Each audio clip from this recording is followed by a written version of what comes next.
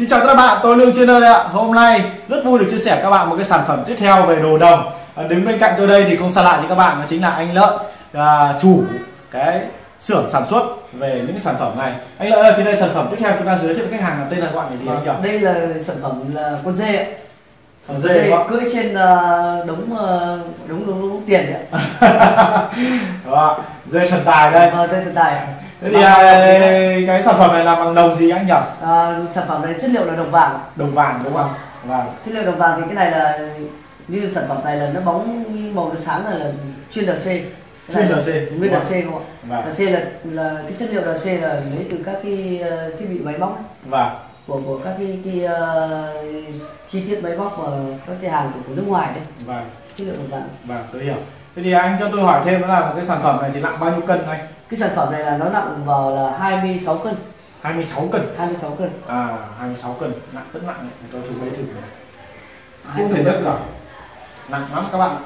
Đó. Cái sản phẩm này thì tôi nghĩ là để trên bàn làm việc hoặc là chỗ chỗ Vâng. chỗ cái, cái phòng khách mà có hai đôn ấy, Vâng, thì rất là đẹp đúng không? rất đẹp Đấy. Cái này thì cao bao nhiêu anh? Cái này là nó cao vào ờ, 38 38. 38 38 phân. 38 Còn rộng không? cái này nó rộng là nó vào 30 Mấy con? hơn ba nó vào 30 à, 38 Gần 40. gần 40 À. dài rộng rồi Đấy, sau đây ờ, xin mời các bạn ngắm chi tiết cái sản phẩm này anh ờ, anh có thể rút hẳn cái dây ra xong rồi quay sát vào đây cho mọi người xem Đấy, các cái chi tiết này là các thợ thủ công là làm toàn bộ bằng tay hết ạ chặt tỉa các đường này bằng tay hết. Đấy, quay chậm cho mọi người nhìn. Cứ zoom gần vào các chi tiết. Không cần. Để máy ra gần vào là được Đấy. rất đẹp rất tinh xảo. Các bạn ngắm ngắm kỹ nhá. Chúng ta sẽ quay gần để cho các bạn ngắm xem cái mức độ. Tất cả những cái này là là là, là tay hết này anh này Vâng, tay đúng hết không? ạ. Vâng, tay hết này dùng mọi người tay nhìn hết. này mọi người zoom đi. toàn bộ thủ công ạ. Đó ok. Đấy, anh quay uh, chi tiết cho mọi người xem. đây đây, đây, quay. Đấy, em lên em quay. Đặc biệt phần chân nhé. Dạ vâng. Đấy. Đây, chi, chi tiết này đây mọi người này. Trên mình nhá rất nhiều chi tiết. Đây đây gọi là cái gì anh nhỉ? Cái đây gọi là Yếm rồi đúng không? cái yếm á. Vâng cái yếm cái yếm á. Rồi. nó sẽ quay cho một cái sản phẩm này thì làm mất bao nhiêu lâu anh anh anh cái sản nhỉ? phẩm này là như em làm là cũng hết tầm một tháng đấy vì những cái Tháng sản phẩm này hàng kỹ là đôi khi là làm cũng là hàng đặt phải là đặt chứ Vâng. không có sản xuất hàng loạt được dạ vâng hàng đặt hàng đặt. Thường đây là cái thông số phổ biến rồi đúng không anh? Dạ vâng thì hàng đặt mẫu dê này thì nó có rất nhiều mẫu. Bây giả sử cho em còn một cái mẫu dê à, nhỏ hơn nữa nó cũng xinh lắm. À. Đấy nên là còn một cái mẫu dê. Các anh có thể thể thể Dạ cầm vâng. ra đây cho mọi người xem không đây mọi người nhìn này. Đó, những chi tiết này anh anh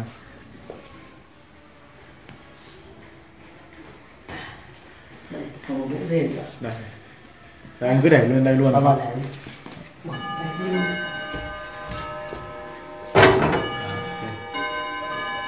còn mẫu này. Đây là mẫu dê của sản phẩm hoàn thiện. Cái này nó đã phủ rồi vâng không? đã phủ rồi đấy. Còn đây là đang là, là thô. Dạ vâng đây đang thu đây là phủ đấy phủ đấy. con này khoảng bao nhiêu cân đây? Con này là nặng 19 cân. 9 cân. Là 19 cân. Con này chắc là để bàn làm việc thôi dạ vâng nhỏ để bàn làm việc ạ. Nhỏ nữa có làm được không? Nhỏ nữa cũng làm được. Có khách hàng nào mà họ đặt thẳng bằng như ở cái phòng khách là họ đặt thẳng bằng kích thước của một con dê thật không? Có chị ạ. Có không anh? Có nhiều người họ đặt mà, mà theo tuổi chơi theo độ, độ cân ấy Ui giời. bây giờ người ta được khoảng tầm 70 cân thì người ta đặt. À. đấy là số lượng là nặng à, 70 này chiều cao nếu mà một con dê thật thì khoảng bao nhiêu cân anh? Anh anh có thể tính được không? Dê thật thì nó do là, là khách hàng đặt. À. thì do khách hàng đặt cũng có thể là người ta đặt cũng có dê lên mấy tạ ấy. à. Vì là cái, cái chất lượng đồng là nó rất nặng nên là khi mà đấy, người, người, người, người ta đặt là là nó theo cái à, cân nặng. Vâng. Nhưng mà sản phẩm này để lâu thì nó có bị gì hay là bị như nào không không không? không không vì gì vì là khi cái chất lượng đồng đồng đồng vàng này là nó quật bóng lên rồi là Vâng. không không không vấn đề gì Những vấn cái- đề vài năm nó vẫn như cái này, là cái gì anh? Cái đây là cái cái bụi dâu vào bụi ạ. Bụi Để ạ lau ra sạch rồi đúng không? Vâng vâng ok. Cái này sau này càng để lâu nó càng xuống màu theo thời gian. Chất lượng đồng vàng nó xuống màu. Nhưng mà tôi muốn chơi kiểu cổ cổ thì cũng giả được đúng không? Vâng ạ. Thì à, hun bằng bằng à, dơm. Dơm đúng không? Dơm. À, thì nó sẽ xuống màu à, theo màu cổ.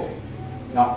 Thì nếu mà các bạn mà muốn đặt cái sản phẩm này thì có thể liên hệ với tôi theo số điện thoại bên dưới tôi ờ, sẽ lấy cái thông tin của bạn và báo cho bạn biết cái giá của sản phẩm là như thế nào. Đấy, hoặc là các bạn muốn kích cỡ to hơn nhỏ hơn thì có thể báo tôi theo số điện thoại bên dưới. Và chú ý đây là một cái hàng đặt nên ờ, như vừa rồi anh lợi nói là phải mất một tháng đúng không anh? Vì vậy các bạn à, lưu ý cho chúng tôi đó là các bạn phải đặt một cái khoản tiền nhỏ để đặt cọc trước chuyển khoản cho chúng tôi đặt cọc trước để chúng tôi có thể chế tác ra cái sản phẩm này. À, để, ờ, để để hai bên xác nhận với nhau là các bạn chính xác bạn làm cái sản phẩm này. Tại vì sản phẩm này nó mất rất nhiều thời gian là toàn phải những nghệ nhân lành nghề để tạo ra một cái sản phẩm này. Đó thì uh, các bạn có thể tham khảo thêm các cái mẫu sản phẩm khác ở cái đường link bên dưới hoặc là liên hệ theo số điện thoại bên dưới để liên hệ. Xin chào và gặp lại các bạn ở những cái chia sẻ tiếp theo. Vâng, cảm ơn anh lợi đã à, chia sẻ cho mọi người.